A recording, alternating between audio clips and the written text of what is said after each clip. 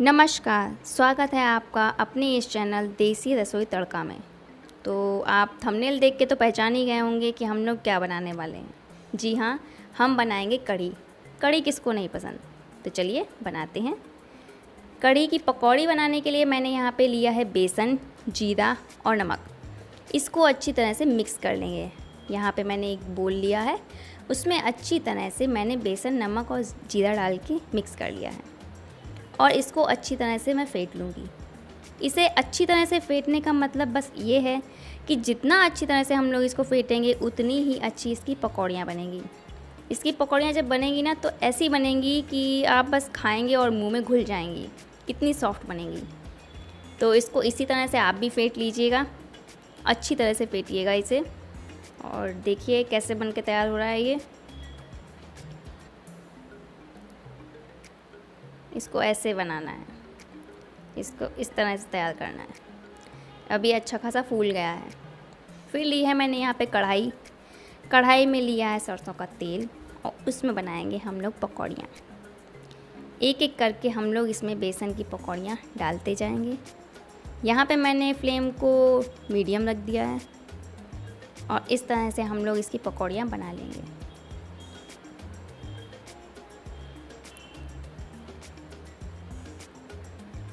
एक एक करके डालेंगे। थोड़ा सा दूर से डालेंगे, नहीं तो ये चिपक जाएँगी।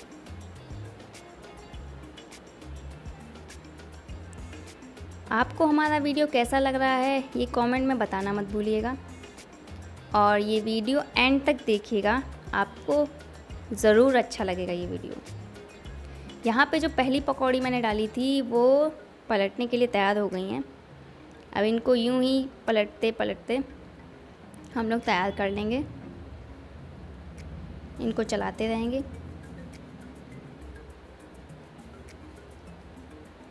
अगर आपने हमारा ये चैनल सब्सक्राइब नहीं किया है तो सब्सक्राइब कर दीजिएगा, क्योंकि अगर मैं नेक्स्ट वीडियो जब डालूँगी तो आपको नोटिफिकेशन ज़रूर मिल जाएगा। आपका सपोर्ट हमारे लिए बहुत मायने रखता है। आप सपोर्ट करते रहिए लाइक शेयर एंड सब्सक्राइब कर दीजिएगा। अगर आपने सब्सक्राइब कर दिया है तो आपका बहुत बहुत धन्यवाद। ये देखिए, पकौड़ियाँ सुनहरी सुनहरी सी हो गई हैं। और जो हल्की सी कच्ची सी हैं तो मैंने उनको पलट दिया है। इसी तरह से इनको चलाते रहेंगे और चलाते चलाते पकौड़ियाँ बना लेंगे। ऐसे पकौड़ियाँ बनाना तो सबको आता ही है। जिनको नहीं आता है, उनके लिए ये अच्छा है। तो ऐसे ही चलाते रहेंगे और जब ये पक जाएँगी तो इनको हम निकाल लेंगे। आप हमें कमेंट करके ज़रूर बताइएगा आपको हमारा वीडियो कैसा लग रहा है। और अगर आप ये मेरा वीडियो देख के इस डिश को ट्राई करते हैं तो मुझे ज़रूर बताइएगा अगर कोई डाउट होता है आपको या आपकी डिश कैसी बनी। मुझे अच्छा लगेगा अगर आपकी थोड़ी सी भी हेल्प होती है मेरे वीडियो के ज़रिए में। ये देखिए, मैंने यहाँ पे पकौड़ियाँ निकालना चालू कर दिया है। ये हल्की हल्की सी भूरी हो गई हैं। और यहाँ पे सारी तैयार हो चुकी हैं ये पकौड़ियाँ। अब जो बचा हुआ बेसन था मेरे पास, मैंने उनकी भी पकौड़ियाँ यहाँ पे डाल दी हैं। एक एक करके डाल देंगे। जितना तेल है उसके अकॉर्डिंग डालेंगे यहाँ पे। सारा बेसन मैंने यहाँ पे एक एक करके डाल दिया है। और इनको मैंने अभी भी मीडियम फ्लेम पे ही रखा है। इनको मीडियम फ्लेम पे पकाएँगे। अगर हम लोग हाई फ्लेम कर देंगे तो ये ऊपर ऊपर से पक जाएँगी और अंदर से कच्ची रह जाएँगी तो टेस्ट अच्छा नहीं आएगा।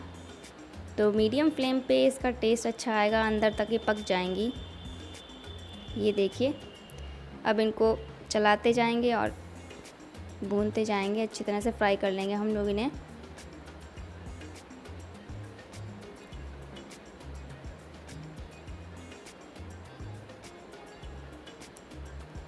इस तरह से आप चलाते रहिएगा।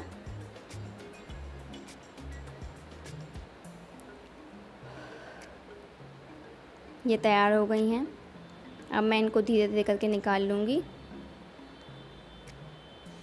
और चलते हैं कड़ी के आगे के प्रोसेस में।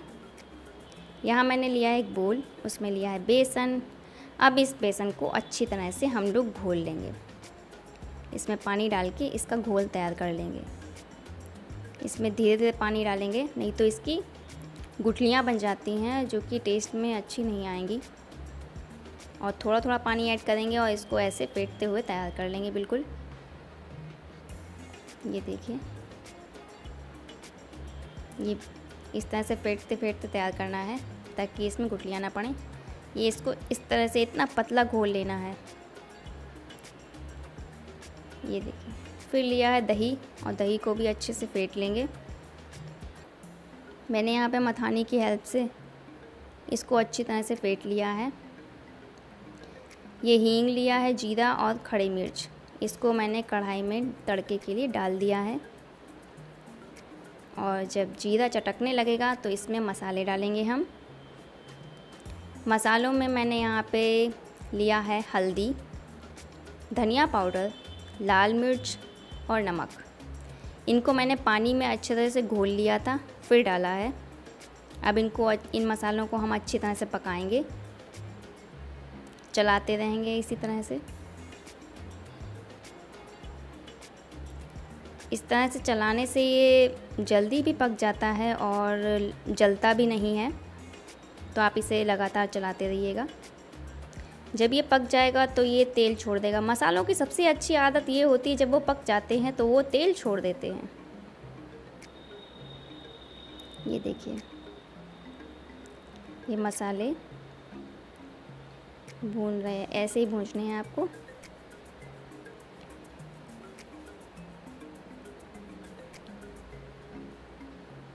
अब इसमें ऐड करेंगे हम लोग दही, जो कि फेट के हम लोगों ने रखा था, वो। और इसमें हम लोग इसे चलाते रहेंगे, वरना ये दही जो है ना, वो फट जाएगा। बहुत बुरा टेस्ट आएगा और देखने में बहुत बुरा आएगा। तो इसको लगातार हम लोग चलाते रहेंगे अच्छी तरह से। और चलाते ही चलाते जो भी मिक्सचर हम लोग को इसमें ऐड करना है, वो सब इसमें चलाते चलाते ही ऐड करेंगे। रेगुलर चलाना है। और यहाँ पे जो बेसन का घोल बनाया था, हम लोगों ने वो भी इसमें ऐड कर दिया है। और इसमें थोड़ा सा पानी भी ऐड करेंगे हम। और इसको रेगुलर चलाते रहिएगा, वरना इसमें गुटलियाँ पड़ जाएँगी, जो कि टेस्ट में बहुत ख़राब आती हैं। थोड़ी सी मेहनत करने पर ही कढ़ी अच्छा टेस्ट देती है। देखिए, इसी तरह से इसे चलाते रहेंगे हम लोग। मैंने इसे कम से कम 10 से 15 मिनट चलाया था मैंने इसे। तब जाके इसमें उबाल आया था। ये देखिए। अब इसमें उबाल आने लगा है। और फेना उठने लगा है इसमें। ये ऊपर आने लगा था तो मैंने इसकी बिल्कुल लो फ्लेम कर दी है। ये इस तरह से बनेगा बिल्कुल। ये देखिए, इसमें उबाल आ रहा है।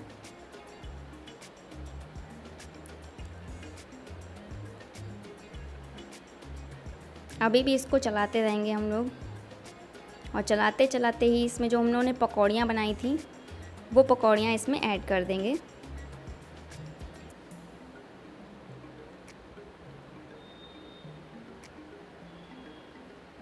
अगर आपको कढ़ी को अलग से और फ्राई करना है तो इसका वीडियो मैंने शॉर्ट में डाला है। आप वहाँ जाके देख सकते हैं।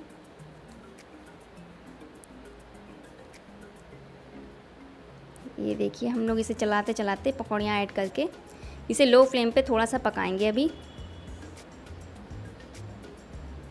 इसमें देखिए, उबाल आ रहा है और फेना भी है। तो जब ये फेना उठना बंद हो जाएगा तो समझ लीजिएगा आपका, आपकी कढ़ी तैयार है। इसको यूँ ही चलाते रहेंगे बीच बीच में, कहीं जल ना जाए। लीजिए, अब ये आपकी कढ़ी बिल्कुल तैयार है। ये देखिए, इतनी गाढ़ा गाढ़ा सा इसका टेक्सचर हो गया है। तो तैयार है आपकी कढ़ी। इन्जॉय कीजिए। मिलते हैं नेक्स्ट वीडियो में, तब तक के लिए नमस्कार।